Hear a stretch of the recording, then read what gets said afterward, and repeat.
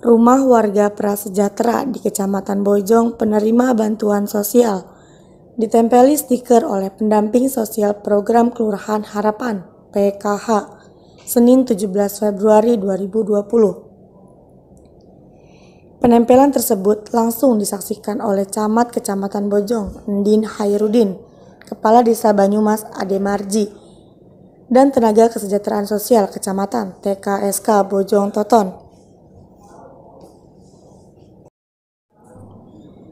Camat Bojong Endin menuturkan bahwa penempelan stiker tersebut bertujuan untuk memvalidasi data dan mempublikasikan kepada masyarakat warga penerima bansos. Sementara pendamping PKH Desa Banyumas, Doni Iska Hermawan menyampaikan bahwa stikerisasi ini merupakan bagian dari tugas pendamping, juga untuk terus mengupdate kondisi terkini KPM ini alamat di Parakan, Desa Banyumas ya. Sekaligus untuk penyerahan kalender dari Dinas Sosial. Nah, Ibu sudah berapa lama dapat PKH dengan si Ibu siapa namanya?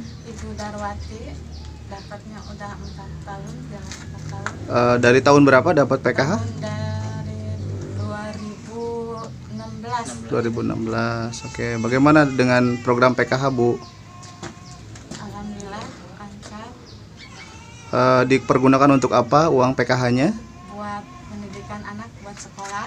Eh, punya anak berapa, Ibu? Dua, Dua. Yang sekolah kelas? satu kelas 6 SD, yang satu balita.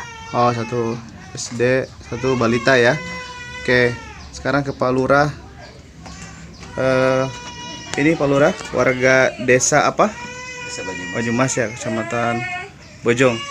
Gimana Pak, warganya mendapatkan PKH tanggapannya seperti apa? Alhamdulillah eh, dengan adanya program PKH masyarakat saya eh, merasa terbantu dan tidak dengan beban-beban yang pendidikan anak-anaknya supaya anak-anaknya bisa pendidikan. Oh ya. Oke. Kalau untuk TKSK sendiri ini sudah banyak yang dari PKH mendapatkan BPNT ya, Kak? Ya, hampir bagi dua dari jumlah 2.700 itu hampir bagi dua dengan PKH Oh ya. yang BPNT, Oke. yang PKH dan yang PKH. Oke. Alhamdulillah sudah berjalan ini sudah masuk yang kedua, insya Allah nanti sebentar lagi kita akan PO. Ya, Pak Camat mohon tanggapannya terkait program Keluarga Harapan di Kecamatan Bojong. Baik, terima kasih. Selamat pagi. Kami sedang posisi sekarang tepatnya di Desa Banyumas. Ya kebetulan kita uh, bukan sudah diagendakan uh, program stikerisasi dalam rangka memvalidasi data, ya supaya bantuan ini tepat sasaran langsung diterima oleh penerima. Saja di sini kita lengkap dengan TKSK-nya, PKH-nya, palurahnya. Kenapa hal ini kami lakukan? Karena kita di samping satu sisi untuk program itu sampai dengan tepat sasaran juga sedang sambil ngecek ya masyarakat kita ini bagi yang belum atau yang belum terdaftar atau misalkan ada terganda karena dengan ya ini baru sampel apa baru satu desa kita di sini. Mungkin kita akan merambat ke desa yang lain sehingga data penerima PKH, sembako, BNPT, jam 100 kita terinventarisir itu ya. Yang selama ini mungkin ada yang belum terdata atau datanya datanya ini belum validasi datanya belum pas.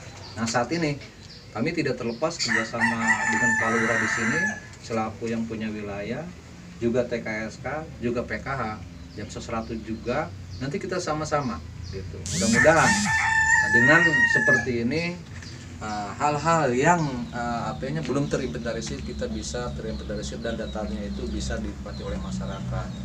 Ini program ini luar biasa di, di kerja apa dilakukan karena kita bisa ngecek. Ibu ini berarti dapat PKH dengan program sembako ya yang sebentar lagi sembako akan kita turunkan ya Pak PKSK jadi kalau PK sudah nanti tinggal sembako. Jadi langsung bisa dinikmati ya. kita tidak ada neko-neko tidak ada main-main langsung langsung diterima oleh penerimanya gitu kan ya. Kami selalu mengawal seperti ini kegiatan kami di lapangan. Palurahnya TKSK-nya kalau ada yang belum sembako kenapa saya tanyakan ke TSK bisa langsung dijawab nanti gitu. seperti itu Dan mudah-mudahan saya mohon doanya. Program ini yang bagus ini Pak Jokowi ya gubernur ibu bupati kami ucapkan terima kasih. Karena lebih